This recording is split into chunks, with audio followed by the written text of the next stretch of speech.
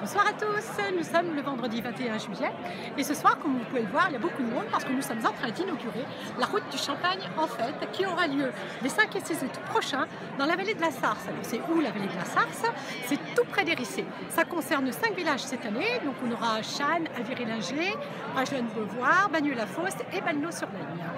Voilà, le but de la route du Champagne, en fait, eh bien, vous achetez un kit qui est composé d'une flûte, comme vous pouvez le voir, avec son porte-flûte, Ensuite, vous avez un carnet de dégustation.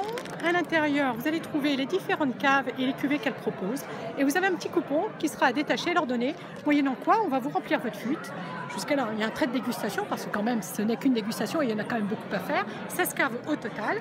Pour ne pas vous perdre, bien sûr, vous allez avoir un, un joli petit plan et le résumé euh, des animations. Évidemment, il y a beaucoup de, musique, euh, c'est très fleuri, voilà, c'est très festif.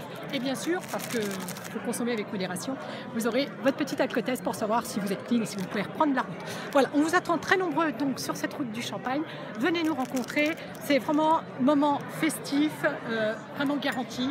On a 25 ans d'organisation, alors on sait de quoi on cause. Franchement,